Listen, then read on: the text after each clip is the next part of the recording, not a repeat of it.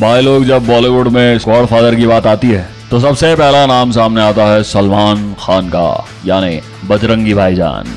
दो दिन पहले ही करण जौहर की बैनर की बड़ी फ़िल्म, शुद्धि में सलमान खान के स्थान पर वरुण धवन को लेने की अनाउंसमेंट की गई है। साथ में फीमेल लीड श्रद्धा कपूर हैं। ऐसा नहीं है कि टैलेंट की वजह से ये बदला हुआ है। दरअसल बताया जा रहा है कि सलमान के पास डेट्स नहीं है और इसीलिए उन्होंने इस फ़िल्म से निकलना सही समझा। ऋतिक रोशन ने जब ये फ़िल्म छोड़ी थी, तब पहले ही शेड्यूल से पीछे चल रही थी। सलमान के आने के बाद भी डेट्स नहीं मिल पा रही थी। ऐसे में वो बाहर हो गए। बताया ये भी जा रहा है कि फ़िल्म में वरुण धवन को लेने का सजेशन भी करण को उन्होंने ही दिया था। और जब ऑफिशियली करण ने ट्विटर पर कास्टिंग की अनाउंसमेंट करी तो सलमान ने ट्वीट किया, कमाल करते हो वरुण धवन, अपने पापा को तुमने बहुत प्राउड फील कराया है। हैप्पी शुद्धि।